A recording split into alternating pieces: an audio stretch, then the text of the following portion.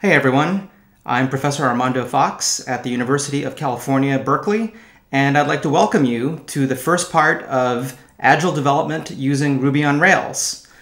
Notice the name of the course. It's not really a course about Rails, it's a course about Agile software development. In the few years since Professor Dave Patterson and I put this course together, Agile has really become one of the dominant methodologies by which modern software is built. So we're really excited to be able to bring that methodology to you in the form of this course. Now, a number of people have asked, why are we using Rails? Why don't we use Node? Why don't we use Python and Django? We'd like you to trust us in that we've chosen the framework that we think has the best tools for teaching you the important concepts of Agile software development.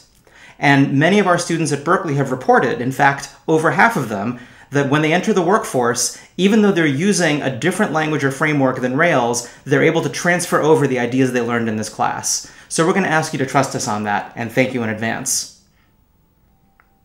By the way, I was initially hoping to record this video positioning myself next to famous landmarks in San Francisco and Berkeley, but it was really windy today in California and I kept getting noise on the recording, so I decided that I'm going to Photoshop those things in instead. I hope you enjoy them. I've been teaching this course at Berkeley for over five years. Every time we teach it, we ask the students, what advice would you give to future students taking this course to help them be successful? One of the most common pieces of advice that we hear is Agile software development works really well, but you have to follow all the steps of the process.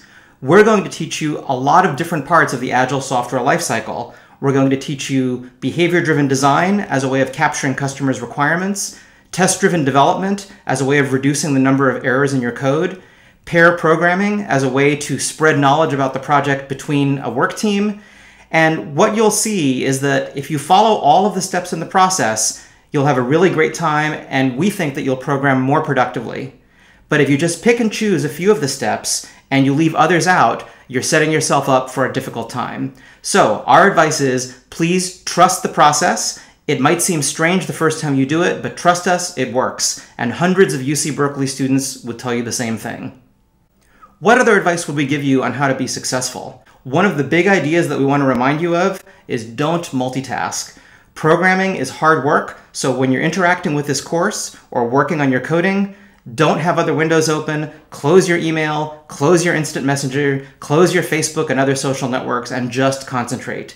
People think they can multitask, but study after study shows they can't. So stick to one thing, and we guarantee you'll be a more productive and a happier coder for it. Speaking of other support, there's also a textbook. It's very inexpensive, available on Amazon in both print and ebook edition. You do not need to own a Kindle to read the ebook. You can read it on any PC or tablet. It's also available in Spanish, Brazilian Portuguese, and Chinese. And while it's not required for the course, we think that it contains a lot of material that goes into more detail than what we can cover in these lectures. In fact, we designed the book specifically to go with the course. It's gotten good reviews on Amazon, and we think you'll enjoy using it, so we'd like you to give it a try. Another important aspect of support in this course is the unbelievable staff of volunteers, including the community TAs, but especially Professor Sam Joseph of Hawaii Pacific University, who will be a facilitator for much of the course.